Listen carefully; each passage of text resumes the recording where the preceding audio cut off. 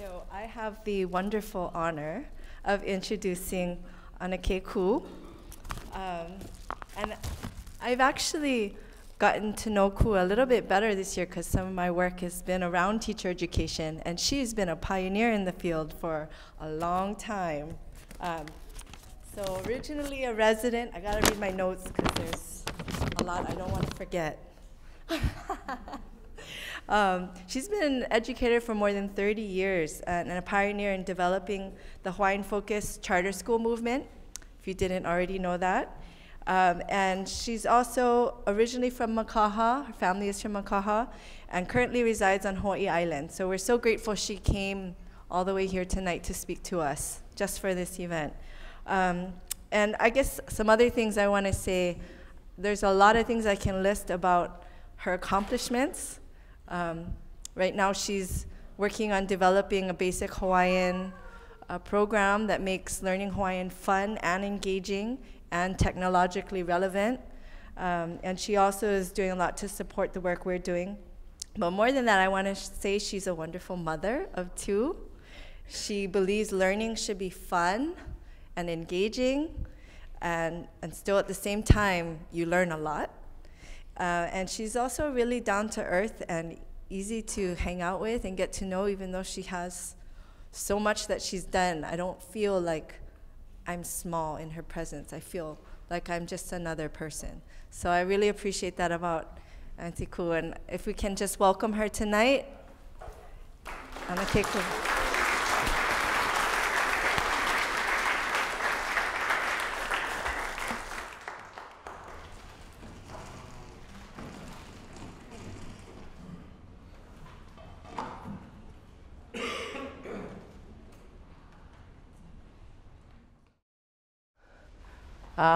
Aloha Aloha e nā kua, aloha e nā umakua, aloha e nā li o Hawaii, aloha e nā kupuna, aloha e nā makua, aloha e ka lehu lehu, aloha Aloha mai kako. O ku hina hina ku i kaha kai ka hakalau ko u inoa. O nā lei ku u kāne. O i ini ku u hiapo a o polani ku u muliloa. O makua ku u kai. O mauna kea ku u mauna. O waipio ku u avava. O kukui haile ku kauhale. Aloha mai kako. So this whole thing gonna be in Hawaiian. If you never know, ah, wait, nah, I'm just kidding.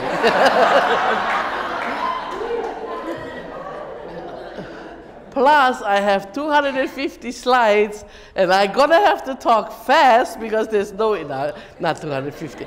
But if I'm going too fast, I do have a lot to say, but if I'm going too fast and you cannot hear me because of the acoustics, um, kind of give me some eye contact or something, something, so I can slow down.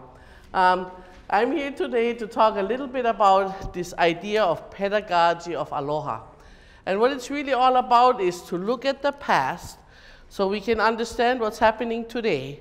And if we get that part, then we can have hope for the future. So this is what this presentation is going to be about. By the way, if you're going to be taking notes the whole time, kind of hard to see my beautiful pictures. So at the end, I have an email. And if you want the whole PowerPoint, we believe, we don't believe in copyright, we believe in copyleft which means anything and everything goes and you can have everything I have because it's not any worth to, you know, it's nothing, it's not anything that's important to me if it's only mine, right? If I can share it, it's more better. So I will have a, um, the, the email and if you want the PowerPoint, just email me and I, I will send it to you.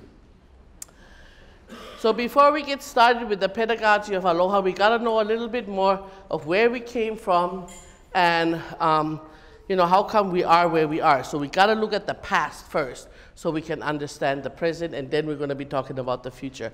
I'm going to talk about myself a little bit more later on, but I just want us to set first the past, because that's more important than me or the present, right? So we're looking at the past.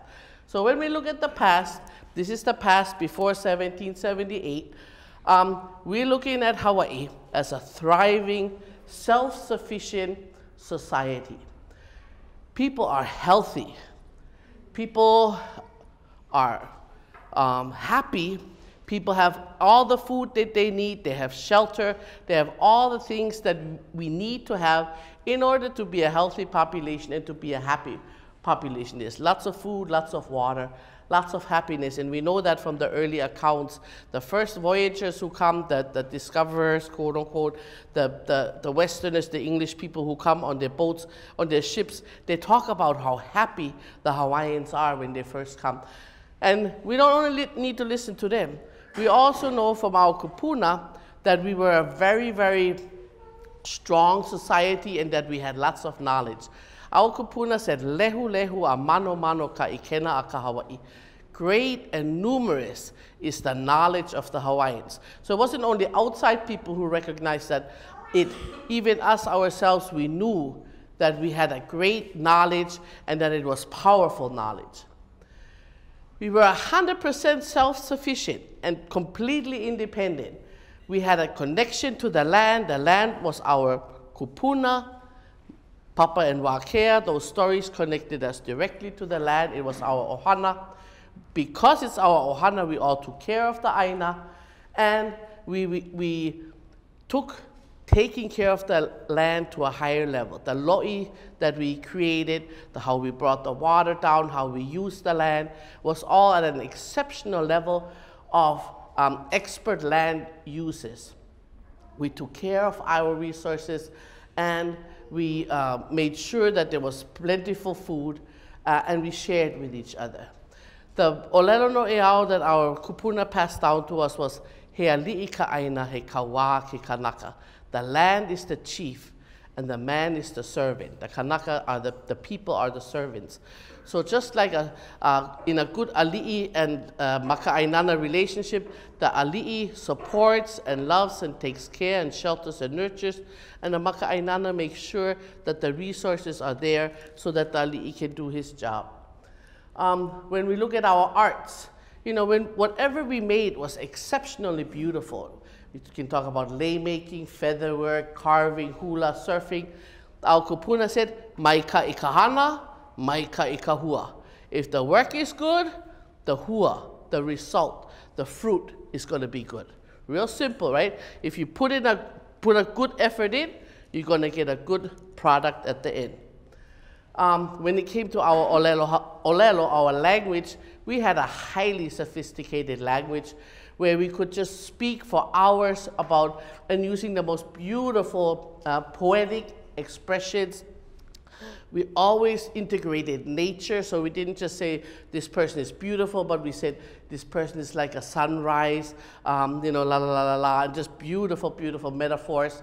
Um, proverbs, all the time um, and hidden meaning, trying to play with the words, trying to see if you get what I'm trying to say, and just doing little digs here and there, that kind of talking that we still do in Pidgin, but we had in Hawaiian taken it to a whole nother level with riddling contests, and then also how we communicated with each other and the Aina and the Akua. In, in, around the world, when people talk to Akua, whoever you want Akua to be, they usually chant. So when you go to a Catholic church, the priest will chant. If you go to a Buddhist temple, the priest will chant. Yeah, there was this chanting that happens around the world, but only when you talk to Akua.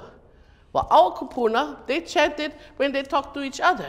They chanted when they went into the forest. So they took this whole thing that was the highest level of communication around the world to another level by including all of us in that kind of communication. Oh, and what was the olelo no eau? Ika olelo ke ola, ika olelo kamake. Meaning our language was so powerful that it could literally kill somebody. when reading and writing is introduced, our, our people picked it up. Within weeks, people could read. And within a short time, 70 years, we had millions of pages written in Hawaiian, the largest collection of native writings in the whole world, and one of the highest literacy rates in the entire world. This is in around 1890. Um, Kamehameha III, Kauikeaouli said, He aupuni pala pala o ke kanaka pono ko'u kanaka. So he believed in this kingdom of letters. In other words, when new things came in, our kumpuna embraced it if it could be something that moved them forward, but you still had to be pono, right? Just because now you have pala pala, you cannot write stink about somebody else because that's not pono. You cannot write lies about this and that because that's not pono. Right? So even though we adopt new things really fast and again take it to a whole nother level by creating all these books and everything, our focus is still on being pono. Then 1893, we have these terrorists coming in and we end up becoming a colony of Hey, if this happened today and you would turn on the TV, guarantee they would be called terrorists. Let's be very clear about that. Okay? Um, so um, we get colonized, we get Americanized, we lose our sovereignty, we lose our language. We lo- oh, thank you. I have one cup of that. We lose our land, we lose our pride, we lose our identity, meaning we're ashamed all of a sudden to be Hawaiian. We lose our self-esteem, and sooner or later we lose hope. And that was the generation, probably my grandpa, my dad, that generation, really didn't have too much hope left as far as being Hawaiian and being somebody as a Hawaiian. And so Liliuokalani really sums it up when she says the feeling of those, of one who has been imprisoned politically or otherwise, can only be understood by a person who has passed through the ordeal. So when we're talking about this eha, it's hard for other people to understand because they never really went through that. But we have to be clear that a huge loss happened. And whenever you lose things, there's eha, there's pain involved. Luckily, in the 70s, things started to turn around. And we have the, what is called the Hawaiian Renaissance, the beginning of the Hawaiian Renaissance. We have the Hokulea going to Tahiti. We have Kalama Valley. We have Makua Valley. We have all these land struggles. We have the arts being revived, hula, chant, language, lua, martial arts, um, lapa'au, herbal medicines, and rituals and protocol like what we were doing earlier, right? Starting with the pule, uh, doing e homai. That's all, the way I aloha you folks. That those kind of things all started to come back. And to me, they came back because what Kauikeaouli said in 1843, which is ua mau ke o ka aina is still true today. This idea of pono again, if we are pono, then things will happen again to restore everything, including the sovereignty of our land. That's the message that we were able to grab from the past and bring to the present and stand on it up to today. Now, at the same time as this was happening, we had a constitutional convention, and in there, they really pushed hard for the people to get to know things about Hawaii. Because until then, there was less and less and less Hawaiian being taught, um, even in the families, right? Even in the families, very little knowledge of history and things were passed down. And so it was important, the, the young men who were in the Constitutional Convention, they wanted to push that the state take care of that and teach the Hawaiian language again and promote the study of the language, the culture, and the history. Um, Au kupuna se e imi i nā wiki a me au nui o ka ike. Look at the small and the big currents of knowledge. So, in other words, knowledge is not just in textbooks, but knowledge can be out in the aina, knowledge can be in the kai, knowledge can be um, in just talking to your kupuna about something. So, the idea of this was this was good to have, and they want, needed to bring um, outside people, kupuna, into the classrooms so that the kids could learn not just from books, but also from the real resources like the kupuna. And that the, the idea was to take the kids into the environment, into the community, and learn there. Unfortunately, this never really happened, And I think if anybody has money to do a class action lawsuit, this would be a really good one because they clearly have not taken care of this constitutional mandate. That means a law, right? More than a law, constitutional mandate to Malama this part. So when um, in the 70s, when they first started, it was mostly programs that were, had a Hawaiian focus, but that were for the kids that couldn't handle in the regular school system. I remember in 79 when I went to Molokai the first time, we had the Academy of Knowledge. Now they called it Academy of Knowledge. That almost sounds like a university, right? Academy of Knowledge. Whole, you know. And who was there? all the hard-hit boys, that's, that's, that, I'm, I'm just stereotyping that, all the hard-hit boys that never like go school, that always, you know, hang around everywhere else but in the classroom, blah, blah, blah, blah, blah. So then they, they took them and they taught them how to fish and how to plant. And those boys did excellent in that because that was their lifestyle anyway.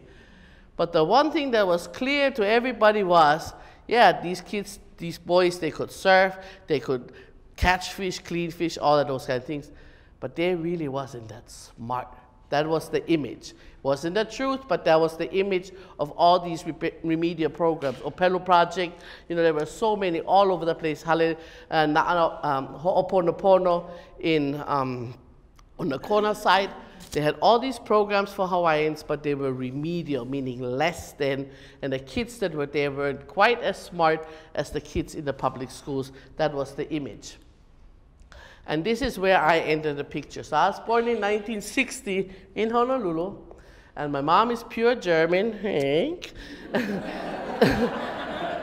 my dad uh, was Hapa. So my grandpa was pure Hawaiian, uh, born and raised in Kalihi, native speaker. All his, he had, there was 11 children. Everybody spoke Hawaiian. All his siblings spoke Hawaiian. Uh, and he was pure Hawaiian. But then he married Howlett, and my, my, dad married German, and that was the end of it. Nah. Uh, uh, no. Um, so I grew up, my mom speaking German, my grandpa speaking Hawaiian, my father speaking English. So I, I was very ma'a to that. And then we moved to Europe. Uh, my dad was a jazz musician, so I learned even more about languages. And then in 1979, I came back straight to Mana'e, Molokai, East End, and then to Oahu and by that time, my sister and my, my dad had come and they, they moved to Makaha Surfside. And so we lived, Makaha Surfside, I didn't live there, but they were there. Then we lived on the Lihue Street and the Kaupuni place. And, uh, and we were in Waianae until 1991. That's when my husband and I, we moved to the Big Island. So I wasn't, so the Makaha part, I only have the Makaha Surfside part, and then Waianae, but we stayed in Waianae a good decade. I used to teach Hawaiian language up at the homestead, and whatever, whenever we were had off from school, we used to go down Makua and lay net. So very, very fond memories of Waianae. I, not just the place, but also the people. There were so many people there, and Auntie Catherine Mauna Kea just being one of them that shared so much of her knowledge. Papa Kalahi Kiola was at the heiau at Pokai every single day, and we lived right, right by the rest, behind Kapuni Place, right by the rest camp, so you could walk over there. So I had so many wonderful experiences to learn about Hawaiian language, culture, and history, not just at the college. I majored in Hawaiian language, I was one of the first licensed Hawaiian language teachers, but I think I learned more from the kupuna. And I was very, very fortunate that I came home at a time when there were still native speakers around uh, that could really, really share their, their tremendous ike, even though I wish I could have learned more. Um, and, but there was definitely that opportunity to what I call the development and calibration of an ancestral gauge. That sounds really fancy, but basically all it is is you got your now, and you know what is good and bad right inside there, right? You go someplace, you go, I don't know if I should be here. back up, back up. Or you go there and you see somebody and you go, oh my God, oh my God, oh my God. You know, oh, you know, take it easy, right? Like you can feel it all inside here, right? You can feel it in here. And the more you know about the iki, that's, that's my theory, the more you know about the iki of your kupuna, the stronger your na'au gets in terms of telling you what is right and wrong and what to do and what not to do. And that's the science science guys, when they have an instrument, they calibrate it so that the thing measures correctly. And to me, it's the values of our kupuna that help us to calibrate our na'au. That's my theory. I said, I don't know. Um, so I, I studied, I became a teacher. I taught at Kalani High School, at Aiea High School, and at Nanakuli High School before moving to, um, to the Big Island. Um, and then I uh, made a mistake. I applied for a sabbatical. I didn't read the fine print that you were supposed to go back to school, so I had to get a, a had to go back to school. But I had two little kids, and I couldn't drive to Hilo, so I ended up with this PhD program. Wasn't my plan, but in the end, I ended up being the first person in the world to get a PhD in Indigenous education. And then I uh, started the, the, Hawaiian Academy, and then we started. Um, Kanoka in the school, so I had to become a principal. Sure to chop, don't take it. nah, just, it, it, was hard for me because I'm, I'm more of a teacher than I am uh, an administrator. Um, and I started to do research also for many, many years and been very active in the grassroots movement. My grandpa always said, Ho'omana onui. That was his favorite. Whenever anything happened, Ho'omana onui, Ho'omana onui. That was his, that was his thing. And what he, the way he translated it was hope for the best. So whatever, as I was moving along, not, not having a plan or anything, I call it divine guidance. This, this olelo for my kupuna, ho'omana unui, hope for the best, was always in the back of my mind. So I got involved in Kaho'olawe, um, uh, in the, when they found the, the iwi on Maui. Uh, Wao Kele O Puna, we, we got arrested in 1990 um, and I'll talk about that a little bit more. Uh, Makua bombing in Kukui Haile, there were issues there, and most recently the um, uh, desecration of Mauna Kea with the telescopes, the TMT, etc. But what the, the, that one moment that was a really a big change for me was in 1990 when we got arrested for geothermal. Um, there was a, we had gone into the forest, we built an ahu, then the second time we came back, they put a big fence. And they said, if you go over the fence, you're gonna get arrested. There was thousands of people at that fence, and then we had said, okay, my husband's gonna go through the fence, I'm gonna stay, because I had to, we, we had to come from Oahu. I had to rent the car keys, and I had this bag and whatever. And so that we had a good plan. He's going to get arrested. I'm going to pick him up after that. we had it all planned. It was a good plan. And then as we were going, people were going across, and I noticed the bus is getting full. They already ran out of their rinky dink handcuffs, everything. And I said, nah, I, I cannot stay on this. I gotta go across. So Emmett Aluli was on the side, so I gave him my keys. It's a blue car, and it's parked by Pahoa High School. you know? and, and I went across. And that night we, we were together at a friend's house, and, and we talked about it. We said, well, I went across, but there wasn't that much more. If, if another 100 or another 200 out of those thousand, there was over 150 people who got arrested that day. But if 250 or 350 or 450 was, would have been arrested, they would have totally had to scrap all of their plans because A, the bus would have been full. They definitely ran out of their plastic handcuffs. and they, we filled up the Hilo jail. So we almost got arrested again for resisting release because we wanted to stay there and get arraigned. So we, because we didn't want to fly back and forth, and the Ka'u brothers didn't want to drive all that way because it would cost plenty gas. But they didn't allow it. But we talked about this idea of, of um, you know, having a, a, a critical mass. So many people that all of a sudden, whatever the system planned couldn't work anymore. And we said, how can we generate a critical mass so that when we have to stand up for stuff that our na'au tells us is pono, that we have enough behind us, and it's not just me looking, where the heck is everybody, right, kind of thing, that we can all move together. And we said, well, the only way we can do that is we have to start with a keiki. So what we did is we started these kukulu kumuhana uh, culture and language immersion camps in 1992. We got our kids together, nephews, neighbors, whatever, or our own kids. We went down into Waipio for one month because we had no money, so we had to live off the land. We had no option of going and staying at some nice camp or some hotel or something. The only place that we could go was Waipio because we can pretty much live off the land still yet in Waipio. And so we started this kind of teaching and learning like our kupuna did, because we said, this Western stuff isn't working. You know, we tried it. I tried it in the classroom. You know, we tried it. It was, wasn't working. So why don't we try to do something else? And so we went into the valley, and the kids learned more Hawaiian language in one month than I could teach them in an entire year at Honoka'a High School.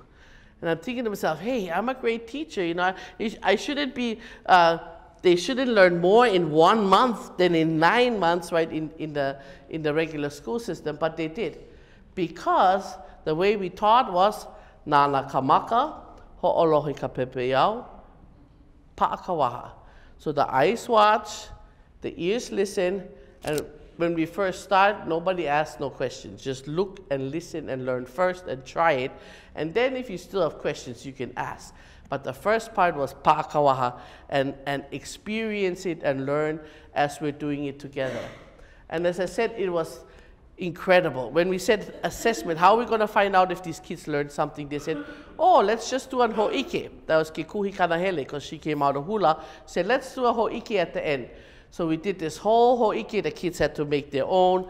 Um, mea, like, you know, tea leaf skirts and lace, and they chanted and they did talked stories and they showed all the things that they made in that month. And some of the parents were sitting there crying. They go, Are you okay? She said, I can't even recognize my own son. He has changed so much. I never, he, I've never heard him chant before, and here he's chanting. When he first came down, he was hila hila to even hemo his shirt, you know, because a little bit alu around there, a little bit momona. And then at the end, he's standing there with his malo like that, chanting, you know, oh, all pushed straight out and all good with it, you know. So they were, the parents just couldn't believe the change that happened with the kids.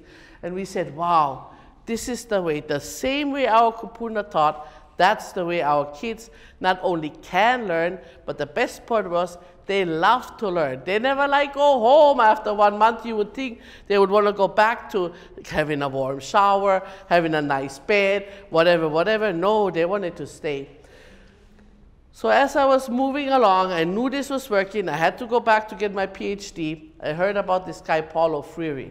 And he was talking about that we have to act we cannot just do theory. You know, when you go to school, sometimes it's all about theory, right? They don't, they don't really get it that there is a real life outside of, outside of their um, nice big to ivory towers, they call them, right? But Freire said, the only way we can change reality is we gotta act. We gotta do something about it. And I took that to heart and tried to do things, try to connect with people. One of the groups that I connected with in 1997 was the Native Hawaiian Education Council, and I was hoping they would give us some money so we could run our programs. They didn't, but they gave me a report. It was the first report they ever did, and in the report, now I read this goal number three, and it said to establish a Native Hawaiian education system. That's the first time I ever heard of that a Native Hawaiian education system. And I go, wow, that's the one, what, that's what we need. We want that kind of change. And they said that the system had to be academically rigorous, you know, so it, it, it wasn't just the remedial, but the most of all, it had to be culturally driven, family oriented, and we put in later sustainable. They didn't know about the sustainable part, but we did all the other parts, and then we found out, oops, if you're not sustainable, you can't really have your own system. So that's the part that we're working on right now. And really, it's a pooling of strengths. Our kupuna said, "Aohe pau ka ike ka ho'okahi." It's about pooling strengths. We gotta not, we can't do it by ourselves, but together we can do a lot of things. So in 1997, I started this Hawaiian Academy. It was a school within a school. And at that time, they had career academies just starting up. And we were in Honoka'a. We didn't even have jobs in Honoka'a, so we couldn't really do a career academy. So they said, well, what's, up, what's the thing about these schools within a school or these academies? They were all about a theme. And this was right around the time when Bulaia was going, Hawaiian. And we said, oh, there it go we're making a Hawaiian academy, right? Because that's that was our theme. We wanted to grow Hawaiians. We thought that if we had a very successful school within a school, and we did, that they would support us. They never. So then we had to go and change the charter school law, and in 2000 we started Kanu o ka Aina uh, in Waimea, um, and it became eventually the first fully accredited Hawaiian-focused public school. Half of the time the kids spend in the environment, so we still try to do as much of this kukulu kumuhana kind of way, and then the other half of the time they were in shipping containers and tents. I couldn't say classroom because you can't really call it classroom at the beginning. Now they have a nice campus, but in the beginning it was a really poor thing action. But the kids were happy and they enjoyed it, and especially the time they, they were in the environment. We created also the, the Na Lei Na'auao, the Native Hawaiian Charter School Alliance, and we have some of our early pioneers there with us. And um, Kawaihona was, is part of that, um, and all the charter schools pretty much that are Hawaiian focused on all three islands, Kauai, Oahu, and Hawaii Island. We called our school Kalo, uh, Kanu o ka Aina, but it comes from a proverb, Kalo Kanu o ka Aina. Kalo Kanu o ka Aina means taro planted on the land. And what it means, besides taro planted on the land, is natives of the land from generations back. So in other words, we called ourselves the taro. Why? Because Haloa is our older brother, right? So that's what our kupuna called ourselves taro planted on the land. How beautiful is that? Have you ever seen a taro planted on the land? It's beautiful. It's a little round too, so that, that, that's also here. And it, and that, that lao kapalilis, this is my mumu hand, but the lao kapalilis yeah, in the wind, it's a beautiful, beautiful thing. And here we are. We are just like this kalo planted on the land. We, the natives of the land from generations back. But making it kalo Kanu o ka Aina would have made it only Hawaiian, right? Because that's who we are. We are kalo.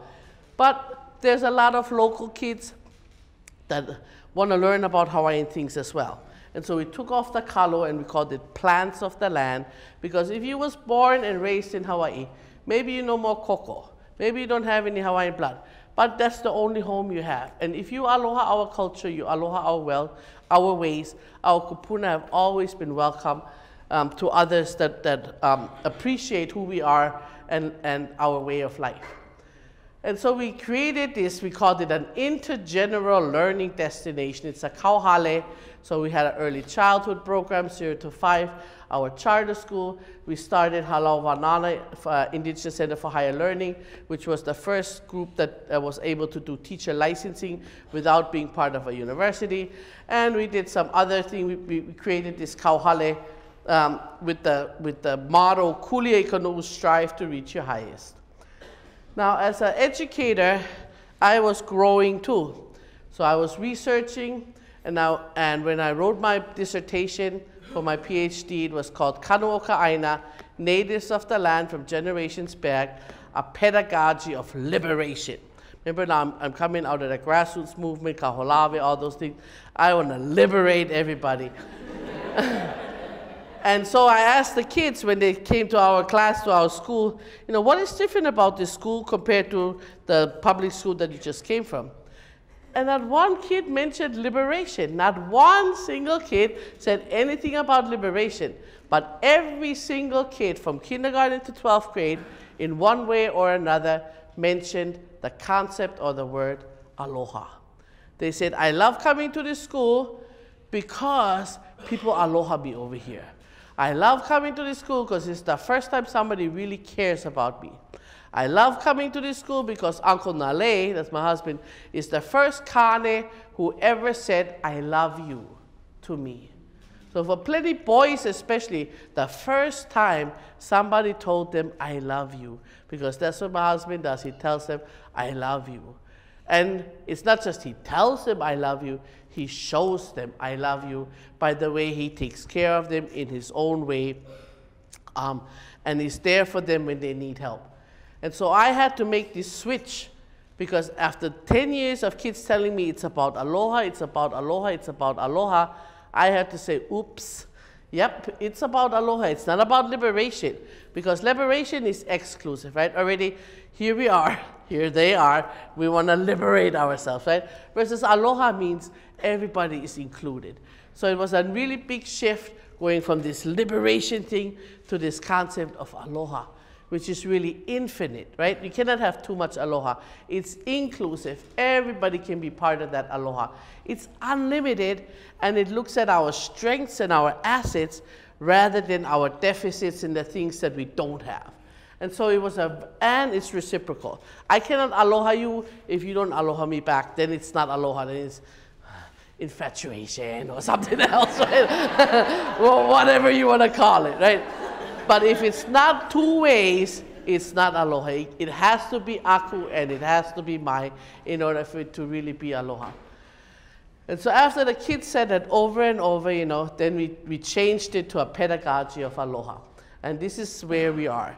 So this pedagogy of aloha, it's really simple. Relations is the most important thing. Relevance is the next thing. It has to be relevant. It has to make sense.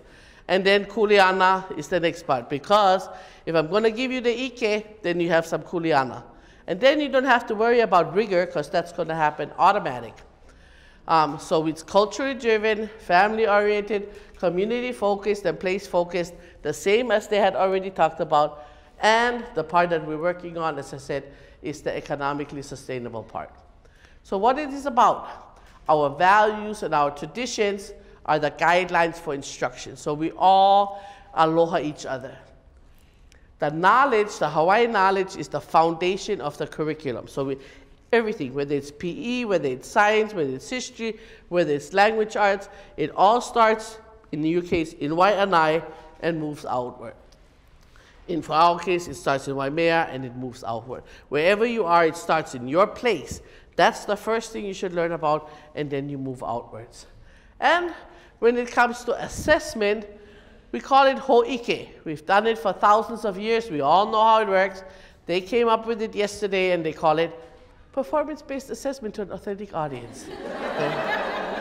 But we already know it. We've done it. We know how it works. So what do we want to do? We want to give our kids a quality 21st century education because they were always worried that all they would learn is Taro Patch. But that's not all they learn, but that's an important foundation of what they need to learn. And they should also learn technology and everything else. And if we can balance those two, then they're going to have success and happiness in whatever they do, but also in their families. So it's not just about the job, it's also about their families and their life. And so we said, okay, so what is a 20, we asked the students, what is an educated 21st century Kanaka?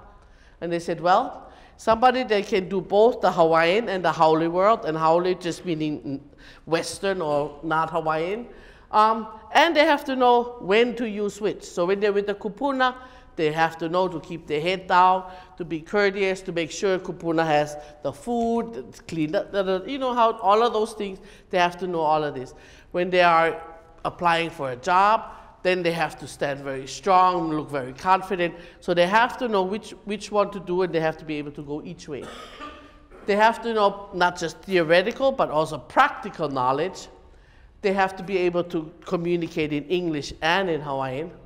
They have to know what they love to do. They have to know what turns them on, what is their passion, and then get a job in that field.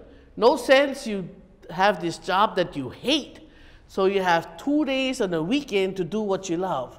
Something is wrong with that picture, right? So we try to get the kids to understand what they love to do and then get them into a career that matched. And they have to know how to achieve their goals.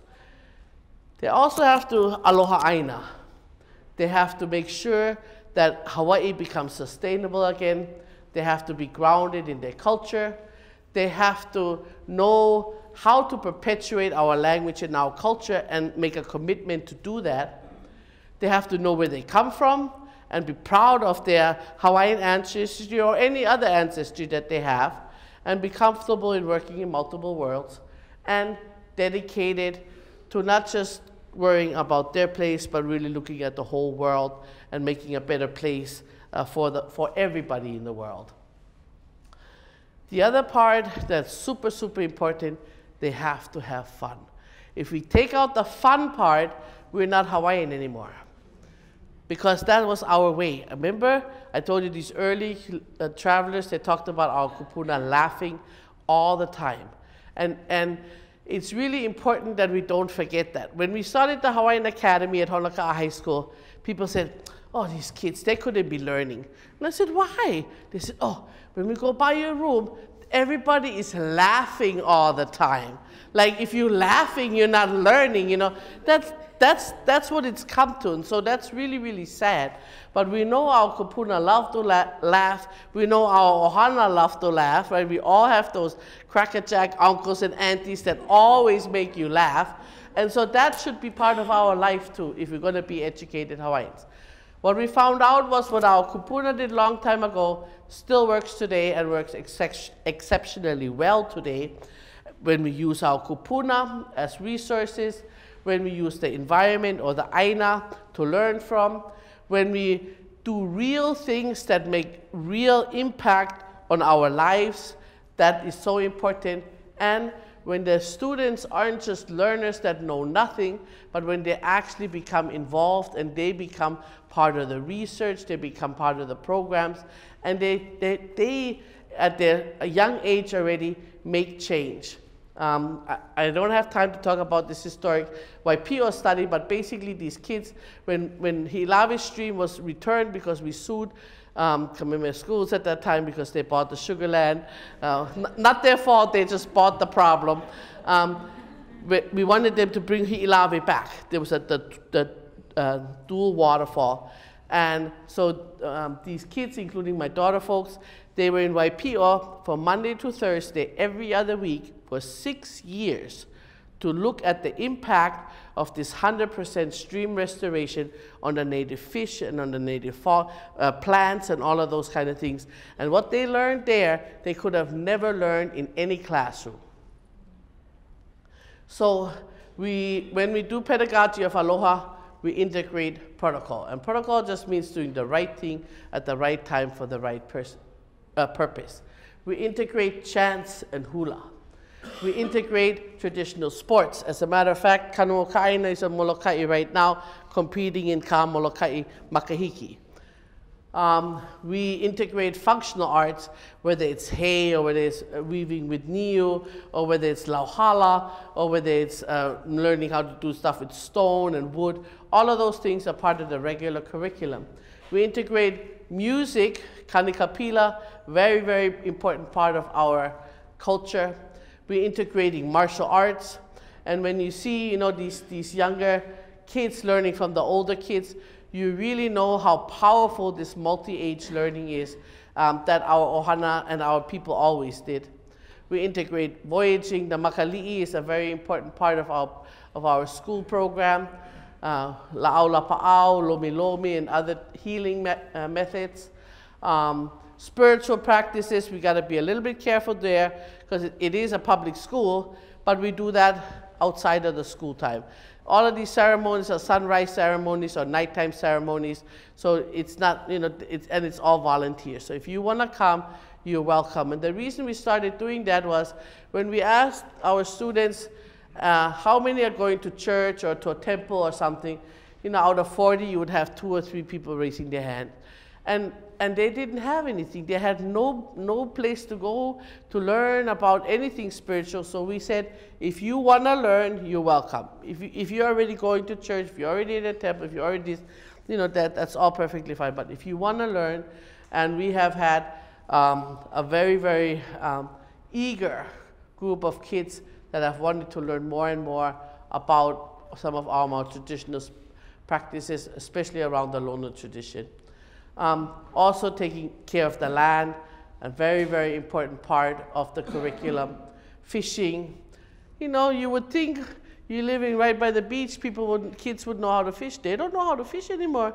You know, what is that? How, how, how do I clean that? I mean, it's really sad that, that we have to do that at school, but the, most of them aren't learning it at home. Um, traditional foods, how to make an imu, how to pick ho'io, how to make things with ulo. Yeah, they had no idea. You know, they really didn't know how to make any traditional foods. Um, and then also resource management. How do we recycle water?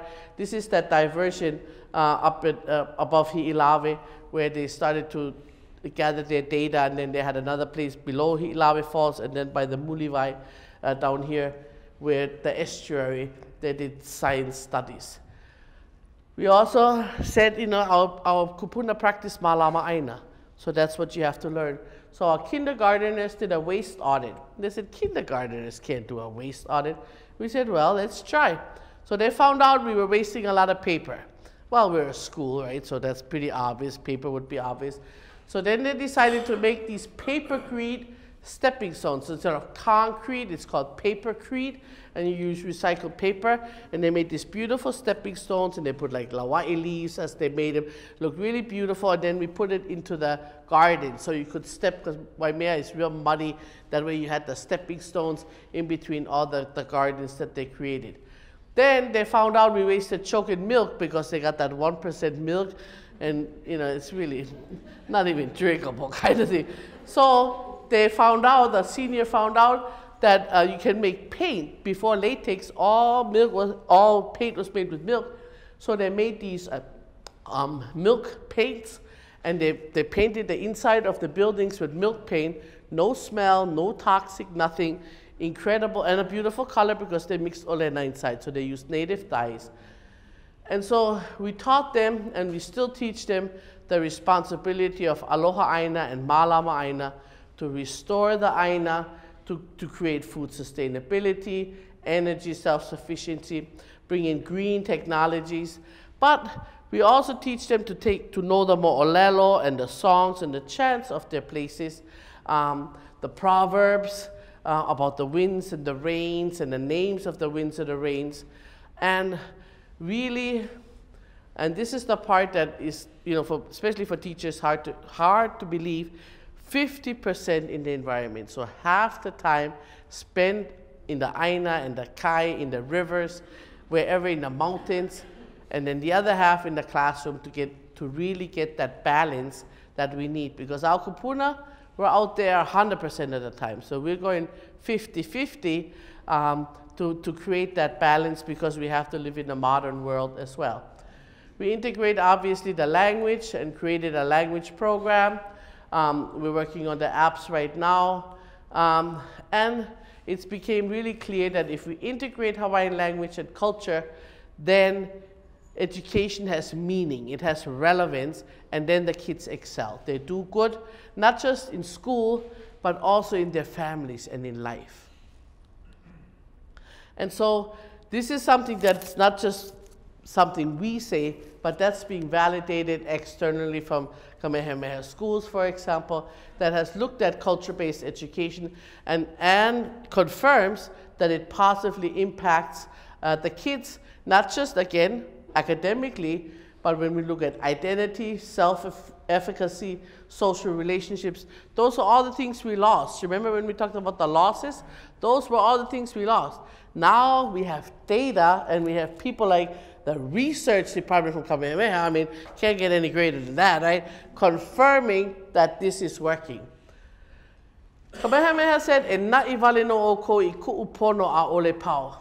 And I, being in a place like this, just want to remind Kamehameha, whatever, whoever that, all that is, that this was not said by me, but by Kamehameha himself.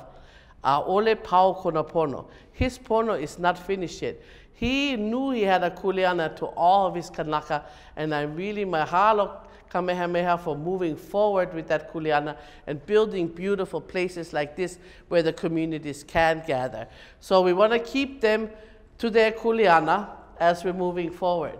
Um, this is really something that um, again, has been validated over and over that culturally driven models of education work and that they meet the needs of our keiki. And so, what's the problem? The problem are not our keiki. We got to be really clear about this. The problem are not our keiki. The problem is an incompatibility of the current system with who we are and what we like to do. That's the problem, okay? So we are not the problem. Skippy, Uncle Skippy, Ioane says we're the evidence, not the crime, right? We're not the problem. We have to be very clear because for a long time we were told we are the problem. And there's still some people telling us we are the problem. But we are not the problem. Okay? The problem is the incompatibility of this system with how we act, what we want to do, how we want to do it, when we want to do it, why we want to do it, etc., etc. That's the issue. And so, if we know that that's the issue, then let's do something to get our kids into a framework that's compatible, means that matches who we are, and that is culturally driven education or pedagogy of aloha, basically. So we've had this systemic failure for decades now, right? We have almost over 70,000 Hawaiian kids in our public school system and over $840 million every single year spent on not educating um, them, right? Because when we look at it, we are the most under and, under, under and uneducated major ethnic group in the DOE. No doubt about it that, the statistics are there we have the highest negative performance indicators. So special education, dropout, whatever you name it. We have the lowest positive indicators, graduation, honor roll, blah, blah, blah. And the data is clear that the system is failing. And there's no plan right? The plan is same old, same old, same old. Get another guy coming from the mainland, pay him 20 grand, and we're doing the same old, same old again. So this is the sad part. We know the problem, we know the solution, but we're not working towards bringing those two together. And so it's really a civil rights and a social justice issue and those things are going to be coming out more and more. And I think we're going to see it in the next 10 years that somebody is going to say, lava. We cannot allow this failure of the system to continue because it is causing the failure of our kids. And so we can use this UN Declaration of Native Rights that clearly says that we have a right to our own education. This is not just me saying we have the right. This is an internationally recognized law that President Obama signed that says that we have the right to create our own systems of education. The same thing that that Native Hawaiian Education Council said in 1997 already, right? So it's not a new thing. So what we have created is this thing called Ku-A-Kanaka. It's a social enterprise, and we basically want to revitalize and promote Hawaiian language, culture, and traditions. Ku-A-Kanaka means ku, stand, a, as Kanaka Hawaiian. So stand as a Hawaiian, literally, Ku-A-Kanaka. But it means to live as a Hawaiian or to be as a Hawaiian, or be Hawaiian. And that's what our little social uh, enterprise is all about. And our motto is, when natives thrive, everybody benefits. And that's the other big message today that we have to send out there. This is not only about us, right? It's about everybody. If we do better, everybody in Hawaii will do better. And so we've been sharing our strategies like I did today. We're talking about with larger uh, groups in the education community. We're thinking about how can we change education for Hawaiians because, as this guy Paulo Freire that I showed the picture earlier, what he says is we cannot just wash our hands of the conflict between the powerful and the powerless and act like we have nothing, that we're not in this, right? We can never be neutral. We're either for or against. And that's a very Hawaiian thing. In Hawaiian ceremonies, you cannot just stand around looking beautiful. It's either you're in the ceremony or you're somewhere else. You don't, you don't just come as a spectator, right? For us, it's we're either in or we're out. And this is what we have to do now too. We have to think about that. Are we going to be in as we're moving forward as a people? And a lot of things are happening moving forward as a people. Or are we going to be out? And so what we're trying to do is to make partnerships, networks, alliances, think about how can we create our system of education and going right to, to create this, this intergenerational system of Hawaiian education, going right back to this concept of kukulu kumuhana, which means the pooling of strengths, physical, intellectual, spiritual, for a common purpose. And the purpose is really for everybody in Hawaii to thrive. And so we are working on doing research, we, we're trying to create more of these uh, self-sustaining Hawaiian learning destinations. So this is Kauhale Oiwi o Pu'ukapu, where Kanu o ka Aina has a few buildings in there and they have other uses as well. And we're starting this new concept of EA, which is Education with Aloha University. And so what we're looking at is a 21st century model of education with Aloha, which is where the learning is customized for the learner, where you, where you integrate technology, um, where you um, learn how to malama the aina and learn more about your culture, and um, where you work together to create new experiences and where it's not about what the teacher says you should learn, but what your passion is. You learn what you love to learn. You learn what turns you on. You learn what you need to learn to make a difference in the world and apply your skills that Akua gave you, the talents that Akua gave you to create a better Hawaii. And it's about bringing in your families, bringing in the communities, and bringing in the, everybody we can to create, as I said, a better world. And so we are hoping that this kind of teaching and learning will, will make people understand their kuleana. To malama da aina, to malama da kanaka, and to malama akua.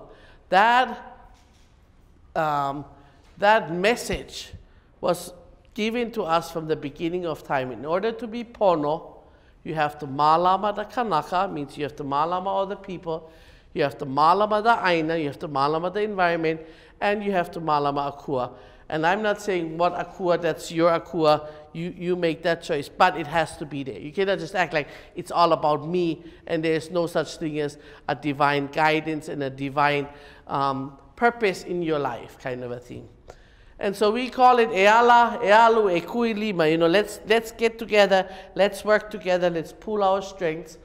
Because as they said in 1997 already, it's going to be culturally driven, community based, family oriented education that's going to be the foundation on which we as a people will rise. And so Hawaiian self-determination is not about a piece of paper that says, ooh, I'm Hawaiian. Ooh, look at that, I'm Hawaiian, right? That's not what it's about, right? It's about you living, being Hawaiian, knowing who you are as a Hawaiian, and moving forward and creating a better Hawaii for our keiki and for our mo'opuna. Our, kupuna said, Pupu kahi i holomua. United, we will progress. And so I want to leave you with the words of King Liholiho. He was Kamehameha's highest ranking oldest son. And he went in 1824, he went to England. And when he went to England, people were blown away because here they thought he was going to be one of those savages with the bone in his nose and, you know, whatever, whatever kind of thing. But no, he came dressed very elegantly. He could handle talking with the queen, you know, the highest embassy people and whatever. Very, he could speak English. And they were just blown away. And they was, you know, wondered, how can he be so smart? You know, how can he be so poised? How can he be so elegant? and, and so um, just worldly kind of thing. And he said, Nā vai ho i ka ole o kia ka mai. He ala hele i maa i ka hele ia e o mauma kua. How could it be that I'm not wise if I'm walking on the path that was already walked on by my makua, by my parents and by my grandparents? In other words, as long as I walk on that path that my kupuna have walked on for thousands of years, I have no choice but to be akamai. There's no option. It's not like, oops, I'm not akamai. If I'm on that ma'avip kapono, if I'm on that trail of righteousness, that means I have ike, I have mana, I have aloha, all of those things that our kupuna passed down to us. So today as Hawaiians, we got to remember that. If he was that confident, we should be that confident too. That our kupuna gave us some beautiful, beautiful presents. They gave us, gave us their language, they gave us their values, they gave us the whole idea of taking care of each other, of the land, of the kai, of all, everything. They took care of everything. They gave us all of those things. And so we should value those things and be confident that that's what's going to move us forward. Nothing wrong with technology, nothing wrong with modern things, but we have to balance it. And if it does, if you now doesn't feel good about it, trust you now. Uh, trust you now. So if you turn on the TV and you see Trump and you see something funny going on, trust you now. No, just going. Uh, um, you know, it, it's important. We need to be proud of who we are, not in a Ho'okano kind of a way, but in a way that says, yes, if that's what I come from, then I gotta continue that way of our kupuna. And so I really mahalo you folks for giving me this opportunity to share a little bit um, about the things that I've been doing and where we're going as Hawaiians in the future. And again, if you want to have a PowerPoint, a copy, you can um, just email me, kukahakalau at gmail.com. Um, and, and I'll be happy to um, email you the PowerPoint. Again, this is all about everybody learning together. Whatever I know was shared with me by other people. You know, I, I was a rati kid. I really, you know, they had to pound it into me literally because I, I really didn't want to listen earlier. But, you know, eventually you grow up and eventually you, you realize the rich legacy that was left behind by our kupuna. So I want to do a oli mahalo, and then um, you guys can ask questions if you want, and then we can do our group thing. Mahalo e, mahalo e ka lehu lehu, mahalo e nā makua, mahalo e nā kupuna, mahalo e nā li o Hawaii, mahalo e nā au makua, mahalo e nā kua. Mahalo. Mahalo.